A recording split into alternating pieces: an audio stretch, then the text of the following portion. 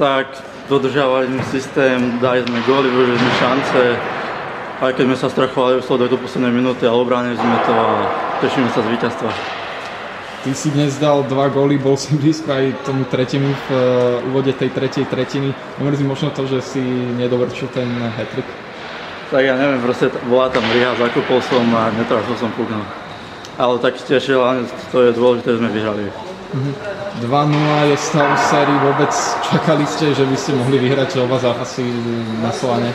Tak my sme chceli hlavne získať jeden zápas, aby sme šli čo najlepším výsledkom stajtov a keď sú dva zápasy, tak sa tešíme aj z tých. Uh-huh. Ohľadom ešte tohto zápasu, dostali ste v tretej tretine taký náhodný gol. Neobávali ste sa, že by vás to mohlo nejako tak nalomiť?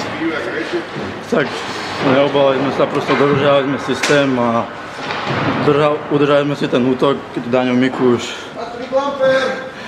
a vyhrali sme.